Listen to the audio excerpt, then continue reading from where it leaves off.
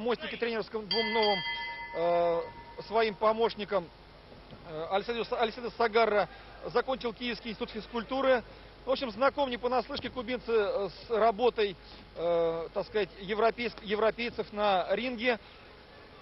Э, ну а Соколов и Червоненко, советские специалисты, в свое время оказали огромное влияние на воспитание и привели к победам на ринге мирового уровня э, знаменитого Теофила Стивенсона.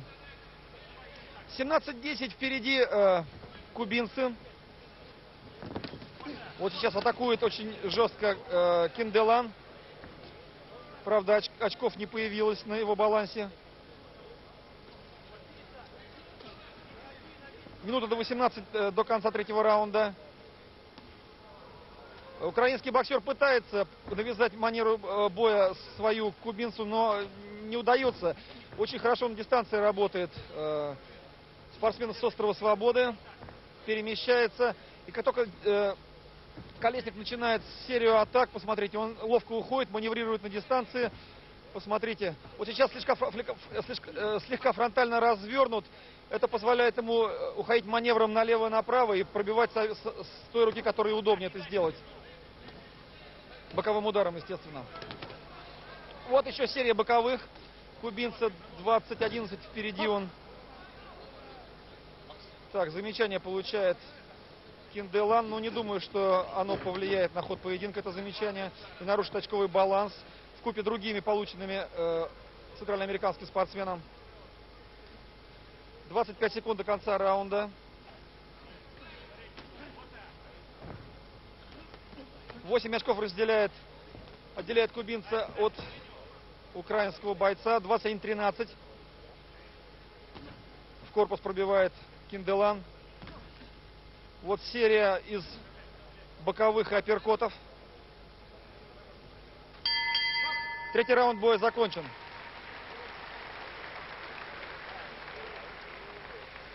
Э, в прошлом году, э, в, э, на прошлом чемпионате мира золотую медаль выиграл Майкро Ромеро, который стал впоследствии олимпийским чемпионом в Сиднее.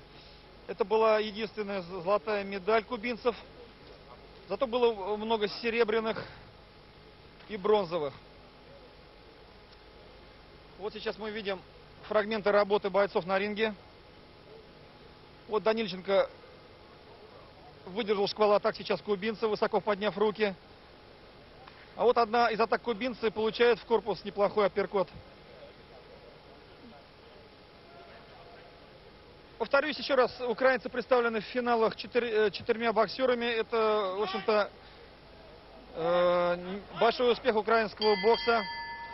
В стране сейчас э, занимается 50 тысяч э, спортсменов боксом.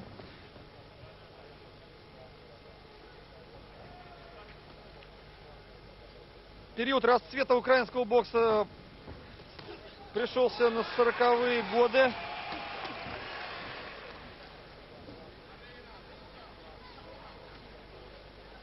Двадцать четыре четырнадцать впереди кубинец. А в 1992 году Украина стала членом АИБа. Полторы минуты отделяют кубинского легковеса Марио Кинделана от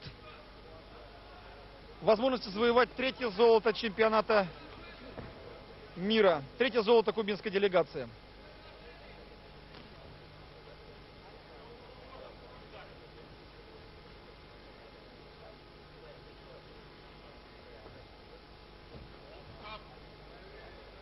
Двадцать пять четырнадцать девять очков. Украинец очень аккуратно и деликатно пытается атаковать, но в этом случае этот, э, эта версия атаки не, никоим образом не проходит. Кубинец чрезвычайно внимателен. Вот опять он занимает фронтальную позицию. Посмотрите, куда уйдет, неизвестно. С какой руки будет бить, тоже неизвестно. Пошел справа и вперед. 26-14 впереди.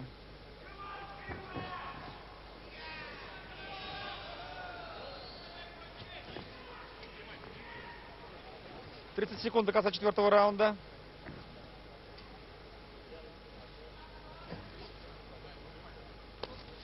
в корпус э, пробивает, э, зарабатывает очко кубинец в корпус правый. Ну, украинец, видимо, смирился уже сейчас, и я не знаю, на что рассчитывает, э, проводя такие вот легкие бессмысленные атаки. Наверное, боится получить встречный, может быть и так. 29-15 впереди кубинский боксер. Итак, победа кубинца, третья куби- э, победа кубинцев сегодня на чемпионате. Но я повторяю, мы ждем боя весовой категории до 75 килограммов Андрея Гоголева с Бековым Хайдаром из Узбекистана. Если э, посмотреть сейчас на состав участников финалов, финальных пар, то скажу вам, что э, румыны здесь были представлены в финале двумя э, боксерами, болгары э, одним боксером, казахи одним боксером, узбекской делегации двумя э, бойцами, англичане одним боксером, француз один, два турка. Соответственно, 7 кубинцев, два россиянина, 4 украинца. Наверное, есть причина э, у такого блестящего выступления кубинц, кубинцев на этом чемпионате. Э, и я думаю, что мы пригласим, э, я приглашу за комендантский столик президента э, Федерации России Эдуарда Реша- Решатовича Хусаинова. Э, и он выскажется по этому вопросу как специалист.